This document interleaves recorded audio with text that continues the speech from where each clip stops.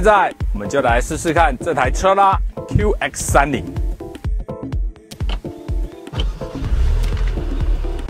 现在我们要开始真正的来进行一段试驾了。那我们今天来到的这个地方呢，是太平山往翠峰湖的一个一段山路上面。那为什么选这一段呢？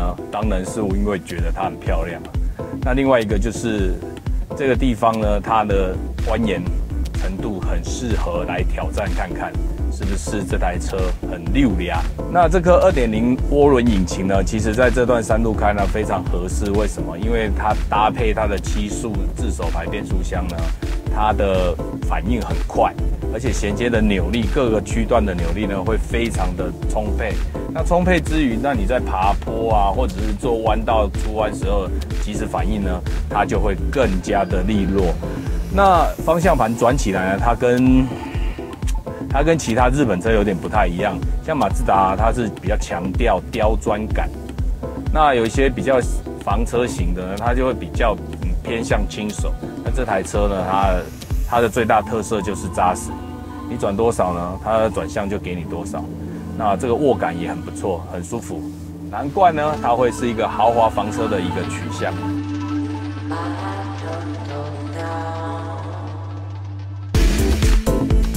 你看，我们加速一点哦，它的扭力立刻上来，然后呢，澎湃的感觉就立立刻有。行路性呢也非常的算，它它跟人家不太一样，它的行路性呢，因为它采取一个比较刚脆的底盘，我特别强强调脆，是因为它不是说像欧洲车那样是一个很完全扎实化的一个底盘，但是它好一点，让你感觉它很轻巧，然后呢，如果有一个力度在。它又不像那个一般的日本车刻意性能车刻意做的一个那个，就是一个很刁钻的感觉，那锐利的感觉之后，那有一点飘，它不会，它就是一个很扎实的一个路感。那离地地面高度比较高的状况下，有时候你会觉得它跟一般的掀背性能钢炮来讲啊，然后它会有一段差距。差距在哪里？就是因为它的反应角度呢很比较高一点。那倾侧角度高一点，你会觉得，哎，怎么重心的转移上面跟之前我们开的性能钢炮不一样？但事实上呢，它的动力呢又是性能钢炮的等级，它呢最大马力达到两百零八匹，峰值扭力三十五点七，这个开起来可以非豪爽度可以非常高。我们现在看一下室外温度，大概就是在十五点五度。那这个山上的空气呢，它的冷冽度够。对涡轮的进气效益啊是比较好的，它它喜欢在这种舒服的角度的里面的环境上呢，它去跑，所以呢，它跑起来呢，你会觉得它哎，它有开心感，啊，你也跟着很开心。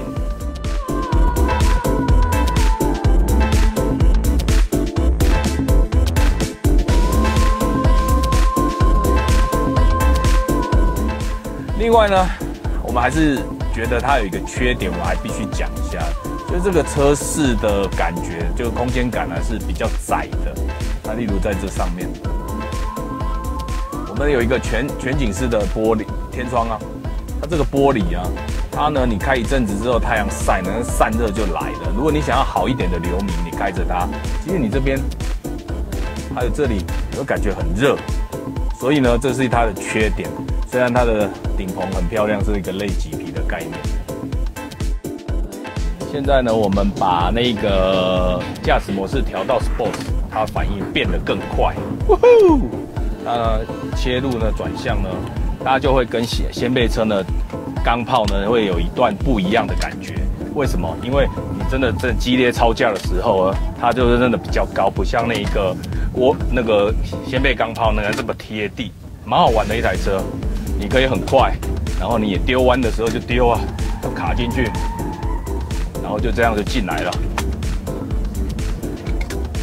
它反而是比算是比较呃悬吊比较长一点，然后很韧 Q 的一个一个钢炮的概念呢，不像像是一个运动修旅。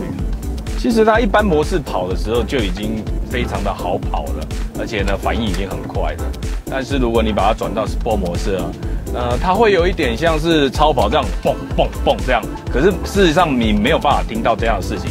可是你心里的节奏就会有一个这样的一个比较紧凑，而且非常刺激。它丢完的时候，你看根本就不用管，你就进去了。反而是这时候轮胎跟不上底盘了。调到 Sport 模式之后呢，它给力的声浪会会变得比较大，而且比较激情一点。根本不怕的，你没有在怕的。动力衔接非常快，就是变速箱七速自排，它自己的换挡啊，你根本就不需要，你不需要自己那边手动操作，它它根本就比你的手还快，你根本不用去管它。你看喽，你看丢看不到，看一下镜子，出弯马上就加油门，过弯过，它可以真的很自在啊，真是一台好好玩的车哦，比钢炮还钢炮哎，它它是名义上它是一个运动修旅，你可以说它是运动跑旅啊，可是它实际上它跑的并不比钢炮差哦，它根本就是活生生的一个钢炮个性，咻就过去了，滑的就过去了，虽然跟。真正的钢炮来比的话，它的车身高度呢会更高一些。哦，哦，来，很不容易哦，你真的很不容易让寻迹系统呢会突然出现了滑移的动作。它基本上都撑得住，虽然是高的一个高的底盘，但是呢，它在撑悬吊在撑支撑的时候呢，它却可以很快的把你压住，让你的操控性更灵敏，不会有余晃。只是说它会比钢炮来讲，就是先背钢炮来讲，它的悬吊压升的幅度会再长一点，行程长一点。出弯，哎，出弯就给一点油，后收进。哦，这个时候遇到破碎路面，你也不太担心的。进，过一个漂亮的甩弯。好了，今天我们的双开到这个 Sport 模式的时候，才能够在这种攻击可以攻击的弯道上连续做出作战的激烈超架，我非常的开心呐！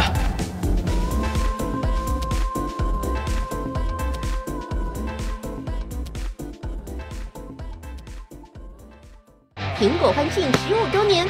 送你百元 C 的礼券，再抽十万现金大奖，还有二零一八世足冠军赛门票。现在就下载台湾苹果日报 App。